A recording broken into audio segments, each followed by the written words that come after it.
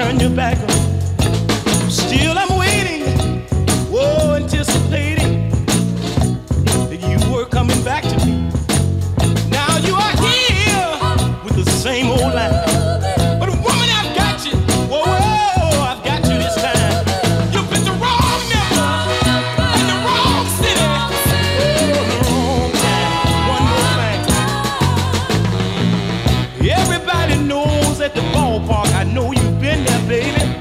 that is three strikes and you're out.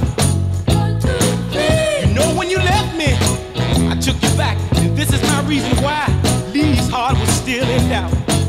But would you